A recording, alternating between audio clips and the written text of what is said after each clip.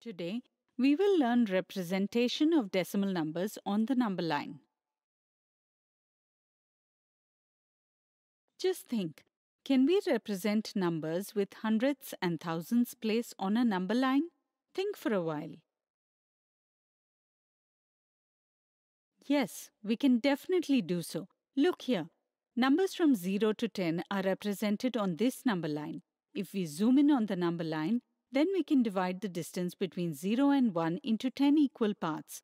We can represent the numbers with tenths place like 0.1, 0.2, 0.3, etc. on this.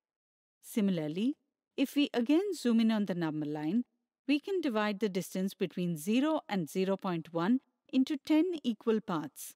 This way, we can divide the distance between 0 and 1 into a total of 100 parts.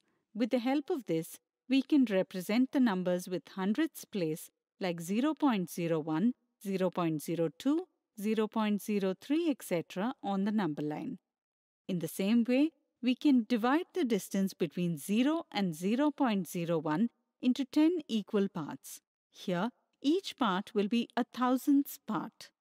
That means we can represent the numbers with thousandths places like 0.001, 0.002, 0.003, etc.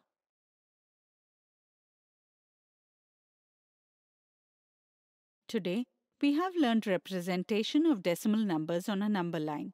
In the next video, we will see some examples related to these concepts.